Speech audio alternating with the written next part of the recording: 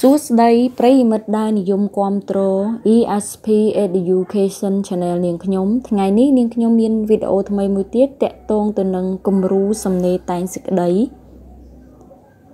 សម្រាប់បងប្អូនសិស្សានុសិស្សដែលត្រៀមប្រឡងគ្រូក្របខ័ណ្ឌក៏ដូចជាប្រឡងសញ្ញាបត្រមធ្យមសិក្សាទុតិយភូមិ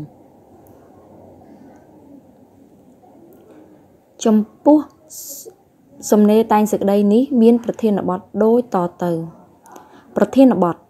ដើម្បីជាប្រយោជន៍ដល់ការរស់នៅប្រចាំថ្ងៃរបស់មនុស្សក្នុងសង្គមមានមតិមួយបានលើកឡើងថាវិជាជាអាហារប្រាជ្ញាជាអាវុធតើមតិខាងលើមានន័យដូចម្ដេចចូលបកស្រាយដោយមានលើកឧទាហរណ៍មកបញ្ជាក់យោងទៅតាមចំណោទសំណួរដែលគេសួរតើមតិខាងលើមានន័យដូចម្ដេចយើងអាចកំណត់ថាប្រធានបែបនេះជាប្រភេទសំណេរ ពន្យល់សំណេរតែងសេចក្តីពន្យល់និងពាក្យបង្គាប់បញ្ជាចូលបកស្រាយណាក៏ជាពាក្យបង្គាប់បញ្ជា ក្នុងសំណេរតែងសេចក្តីប្រភេទពន្យល់ផងដែរដើម្បីកុំឲ្យខាតពេលវេលាយើងចូលទៅក្នុងសេចក្តីអធិប្បាយសេចក្តីអធិប្បាយប្រធានបទវិជាជាអាហារប្រាជ្ញាជាអាវុធប្រភេទសំណេរតែងសេចក្តីបែងចែកជា3ធំ គឺមានផ្ដើម តួសេចក្តីនិងបញ្ចប់អញ្ចឹងដើម្បីកុំឲ្យខាត់ពេលយើងចូលទៅក្នុងសេចក្តីអធិប្បាយប្រធានបទវិជាជាអាហារប្រាជ្ញាជាអាវុធតែម្ដងសេចក្តីផ្ដើមមានលំនាំបញ្ហាចំនួនបញ្ហានិងចំណោទបញ្ហាជាទូទៅនៅក្នុងជីវភាពរស់នៅរបស់មនុស្សក្នុងសង្គមនាពេលបច្ចុប្បន្នរមែងជួបប្រទះនៅសេចក្តីរីករាយផងសេចក្តីទុក្ខសោកផង និងការប្រកួតប្រជែងគ្នាផងដែរដើម្បីទទួលបាននូវភាពជោគជ័យក្នុងការងារនិងការរស់នៅប្រចាំថ្ងៃ ដែលទាមទារឲ្យមនុស្សត្រូវមានសមត្ថភាព ចំណេះដឹង ប្រាជ្ញាបទពិសោធន៍និងគំនិតច្នៃប្រឌិត ក្នុងការដោះស្រាយនៅបញ្ហានានា ដែលកំពុងកើតមានឡើងប្រកបដោយភាពឆ្លាតវៃនិងភាពប៉ិនប្រសប់បំផុត នេះគឺជាលំនាំបញ្ហា គឺនិយាយទូទៅប៉ុន្តែឲ្យភ្ជាប់តេតទៀងទៀងចំណាប់អារម្មណ៍ឲ្យចូលទៅក្នុងប្រធាន ចំណុចសំខាន់គឺប្រាជ្ញានិងចំណេះវិជ្ជាណាបន្ទាប់មកទៀតយើងចូលដោយចំណូលបញ្ហាណាដោយសារតែប្រាជ្ញា និងសមត្ថភាពចំណេះដឹងមាន សារៈសំខាន់សម្រាប់ជីវភាពរស់នៅរបស់មនុស្ស ក្នុងសង្គមទៅមានមតិមួយបានលើកឡើងថា វិជាជាអាហារប្រាជ្ញាជាអាវុធនេះគឺជាលំនាំសំទោសគឺជាចំណូលបញ្ហា គឺដើម្បីបង្ហាញប្រធានបទរបស់យើងបន្ទាប់មកទៀតយើងចូលបន្តមួយចូលដល់ចំណោទបញ្ហា យើងអាចយកសំណួរនៅក្នុងចំណោទសំណេរក៏បានដែរតើមតិខាងលើមានន័យដូចម្ដេចណាយើងបានបន្ទុកហើយ នេះគឺជាចំណោទបញ្ហាបន្ទាប់មកយើងចូលដល់តួសេចក្តីក្នុងតួសេចក្តីប្រធានបញ្យលគឺមានឃ្លាភ្ជាប់ពន្យល់ពាក្យកន្លឹះពន្យល់នៃប្រធានបកស្រាយប្រធាន លើកឧទាហរណ៍និងសរុបសេចក្តីអញ្ចឹងចូលទៅដល់តួសេចក្តី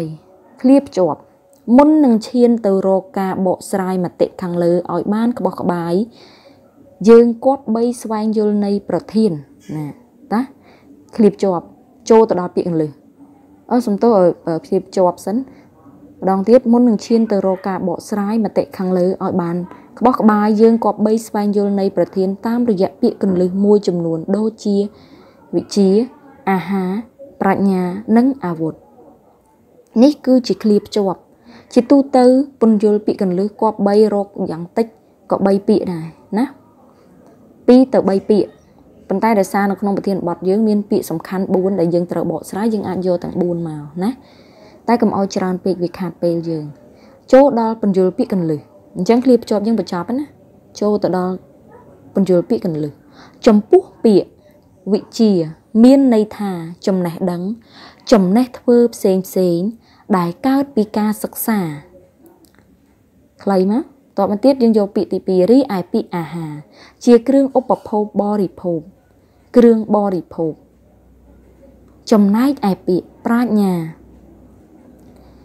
មានន័យថាញាណដឹងពីធម្មជាតិការយល់ដឹងពីធម្មជាតិនិងញាណពីកំណើត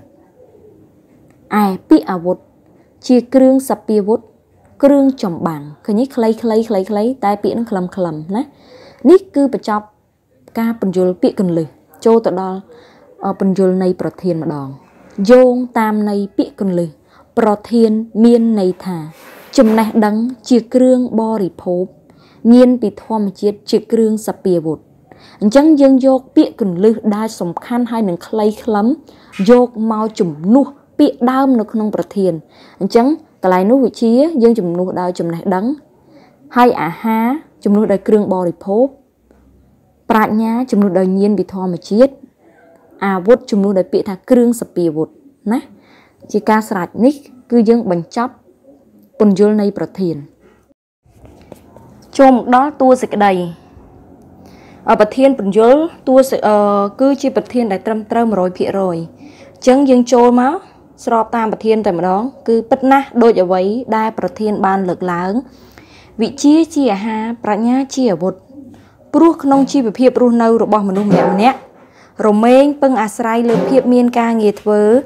និងការប្រកបអាជីវកម្មផ្ទាល់ខ្លួន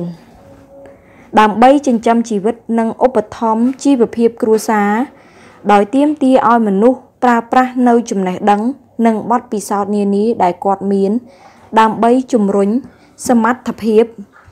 ជាសក្តានុពលក្នុងការងារធ្វើ និងជំនាញគ្រប់គ្រងអាជីវកម្មផ្ទាល់ខ្លួន ក្នុងការទទួលបាននូវប្រាក់បៀវត្សល្អប្រាក់ចំណូលខ្ពស់និងកិត្តិយសដ៏ប្រសើរ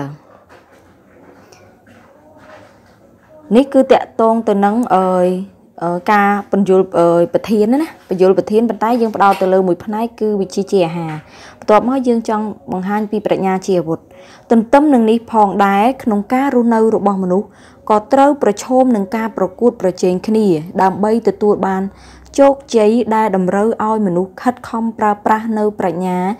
ដែលជាញាណពិសេសពីកំណើត គូផ្សំជាមួយនឹងការអប់រំលើគ្រប់វិជ្ជា ដើម្បីពង្រឹងសមត្ថភាពនិងភាពបត់បែនផ្ទាល់ខ្លួនទៅតាមកលៈទេសៈក្នុងការប្រើប្រាស់យុទ្ធសាស្ត្រនានាក្នុងការបំពេញការងារនិងការគ្រប់គ្រងអាជីវកម្មឲ្យមានប្រសិទ្ធភាព និងវត្តមានសមិទ្ធផលល្អល្អប្រកបដោយនិរន្តរភាពយូរអង្វែង ណាអញ្ចឹងអានេះគឺបង្ហាញពីគំនិតទី2គឺប្រាជ្ញាជាអាវុធអញ្ចឹងយើងបកស្រាយឲ្យស្របតាមទិសដៅរបស់ប្រធាន ស្របហើយយើងបញ្យល់ទៅនៃប្រធានទាំងអស់ចាំយើងលើកឧទាហរណ៍សរុបតែម្ដងពីព្រោះអីជួនកាលតែយើងបែងចែកច្រើនពេកវាធ្វើឲ្យយើងភ័ន្តច្រឡំណាអូខេអញ្ចឹង ជាសក្ខីភាពក្នុងស្នាដៃសង្ខេបទុះជាដករបស់បណ្ឌិតមហាឈឹមសុំដែលបានបកប្រែចេញពីភាសាបាលីជាសៀវភៅសិក្សាថ្នាក់ទី2ទំនើបក្នុងឆ្នាំ1959ត្រង់មហោសុតជាដកដែលបានបង្ហាញពីការបំពេញបាបញ្ញាសំទោសបំពេញបញ្ញាបារមីរបស់ព្រះមហោសុតក្នុងបញ្ញបញ្ហានានារបស់ប្រជាពលរដ្ឋផងនិងប្រស្នារបស់ព្រះមហាក្សត្រ ជាច្រើនដងទៀតដូចជា ការស្វែងរកសត្វគោដុសស្នែងនៅកែងជើង ការចំអិនបាយមិនអមិនឲ្យប្រើចង្ក្រានអស់និងគោឈ្មោលផើមជាដើម ដោយប្រសំទោសដោយព្រះមហោសុតបានយកនៅចំណេះដឹង និងប្រាជ្ញាញាណរបស់ទ្រង់មកដោះស្រាយនៅបញ្ហាទាំងនោះ តាមកលៈទេសៈប្រកបដោយភាពវៃឆ្លាតនិងប៉ិនប្រសពគួរឲ្យស្ងើចសរសើរបំផុត អញ្ចឹងកន្លែងនេះយើងលើកឧទាហរណ៍តែក៏ចំណុចណាដែលគ្រប់គ្រងប្រធានតកតងទៅនឹងវិជាក៏ដូចជាប្រាជ្ញាអញ្ចឹងនៅក្នុងស្នាដៃទោះជាដកដែលនិយាយអំពីយានយកកំណើតប្រវត្តិទាំង10អឺ10ជាតិរបស់ព្រះពុទ្ធក្នុងការបំពេញបុណ្យបារមីដើម្បីត្រាស់ដឹងជាព្រះពោធិសត្វណាព្រះពុទ្ធយើងអញ្ចឹងអឺ នៅវគ្គទី5គឺមហោសុតជាដកហ្នឹងគាត់បំពេញគេហៅថាបញ្ញាបារមីអញ្ចឹងព្រះអង្គគឺគាត់មានគេហៅថាប្រាជ្ញាខ្ពស់ដែលអាចដោះប្រស្នាដោះទុកលំបាកដល់ប្រជាជនហើយអាចនិយាយចំទៅគាត់មានភាពប៉ិនប្រសប់ក្នុងការដោះស្រាយដែលធ្វើឲ្យមានប្រជាជនប្រជាពលរដ្ឋសំបីតែព្រះមហាក្សត្រក៏ស្ងើចសរសើរទ្រង់ដែរណា ហើយបន្តមកទៀតយើងចូលទៅដល់ចំណុចទី2យើងលើកបង្ហាញទៀតបន្ថែមទៀតឧទាហរណ៍ដឹងប្រមាណបង្ហាញមកតែកុំវែងពេកជាក់ស្ដែងក្នុងស្នាដៃអក្សរសិល្ប៍រឿងដេជោយ៉តដែលនិពន្ធដោយលោកទីហួត ក្នុងឆ្នាំ1983ត្រង់តួអង្គជំទាវស្រែន បានប្រើប្រាស់សមត្ថភាពប្រាជ្ញារបស់គាត់បានបង្កើតឧបាយកលធ្វើជាលេងលះដេកចូលមាសជាស្វាមីដើម្បីបោកបញ្ឆោតចាត់ ចាប់ខ្លួនស្ដេចសម្រែដែលជាជនក្បត់ជាតិបានដោយជោគជ័យអញ្ចឹងយើងលើកឧទាហរណ៍ខ្លីៗបានតាក់ទងតែចំណុចដែលសំខាន់សំខាន់អញ្ចឹងយើងលើកថងហ្នឹងគឺជំទាវស្រែនគាត់ប្រើបញ្ញាឧបាយកលគឺធ្វើជាលេងលះមួយស្វាមីមានចំនួនមួយស្វាមីអញ្ចឹងហើយបែកផ្ទះទៅរស់នៅឆ្ងាយប្រហែលជា5 6ខែណា ទៅអាចបោកបញ្ឆោតស្ដេចសម្រែនឹងឲ្យគាត់ព្រមមកពិសាទិញម្ហូបអាហារនៅកន្លែងមុខរបរជំទាវស្រែនឹងទៅជំទាវស្រែប្រើអបាយកលបោកបញ្ឆោតឲ្យញ៉ាំស្រាហើយគេងលក់ទៅទៅដេកជោមាសអាចចាប់ខ្លួនកូនចៅរបស់ស្ដេចសម្រែដោយជោគជ័យព្រោះស្ដេចគឺស្ដេចសំទោសស្ដេចសម្រែនគឺជនក្បត់ជាតិហើយគាត់មានសមត្ថភាពខ្ពស់មែនទែនគាត់អាចប្រើគេហៅថាមុនគុំបានទៀត ដែលហួសពីសមត្ថភាពសម្ដេចអឺគេហៅថាសំទោសដេជោដេជោមាសណាអូខេ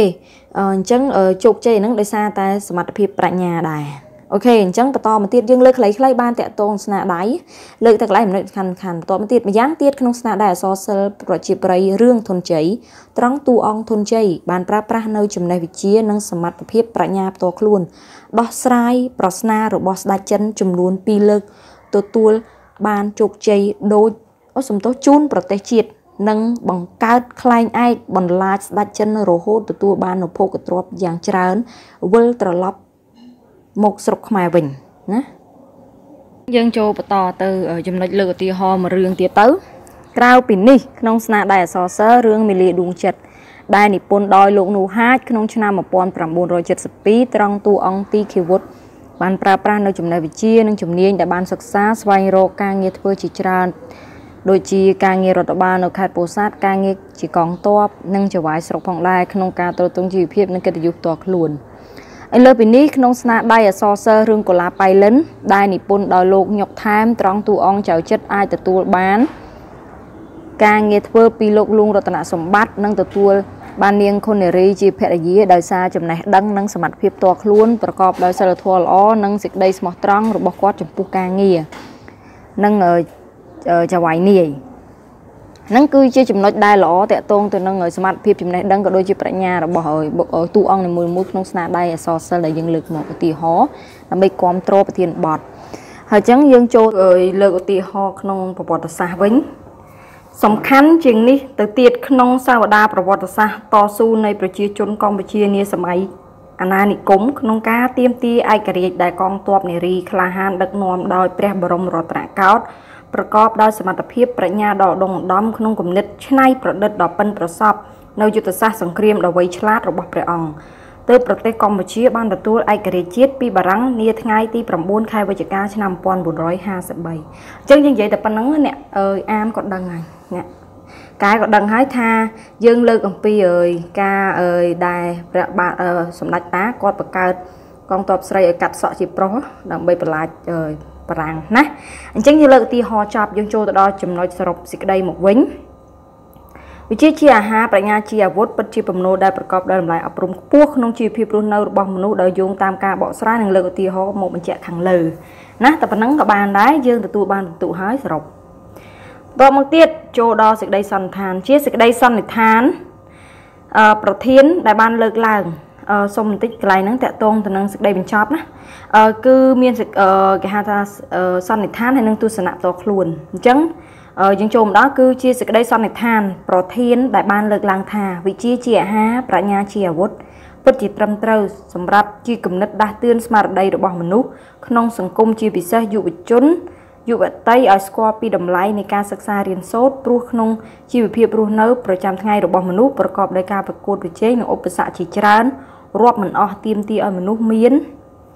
ចំណេះវិជ្ជាបទពិសោធន៍និងប្រាជ្ញាដោះស្រាយបញ្ហាទាំងនោះ ស្របតាមកលៈទេសៈដើម្បីទទួលបានការរស់នៅប្រកបដោយសេចក្តីថ្លៃថ្នូរនិងកិត្តិយសណាអាហ្នឹងយើងសរុបដែលយើងបកស្រាយមកហើយណា បកស្រាយតាក់ទងទៅនឹងឧទាហរណ៍អីផ្សេងផ្សេងគឺតាក់ទងទៅនឹងហ្នឹងដូច្នេះនេះទស្សនៈផ្ទាល់ខ្លួនដូច្នេះក្នុងនាមយើងជាកុលបុត្រកុលធីតាខ្មែរចំនួនក្រោយដែលជាទំពាំងស្នងរិស័យគប្បីខិតខំតស៊ូប្រឹងប្រែងព្យាយាមសិក្សារៀនសូត្រដើម្បីអភិវឌ្ឍសមត្ថភាពជំនាញនិងចំណេះដឹងឲ្យក្លាយជាធនធានមនុស្សដ៏ពិតប្រាកដសម្រាប់អភិវឌ្ឍសង្គមគ្រួសារនិងសង្គមជាតិនាពេលអនាគត។ ណាអញ្ចឹងសរុបសេចក្តីមកនៅប្រធានបទរបស់យើងត្រូវបានបញ្ចប់ដោយសង្ខេបហើយសង្ឃឹមថាបងប្អូនសិស្សានុសិស្សដែលនឹងប្រឡងអឺសញ្ញាបត្រទុតិយភូមិឆ្នាំសិក្សាជាពិសេសគឺ2018 2019នេះទទួលបានជោគជ័យក្នុងការប្រឡងហើយសូមអរគុណសូម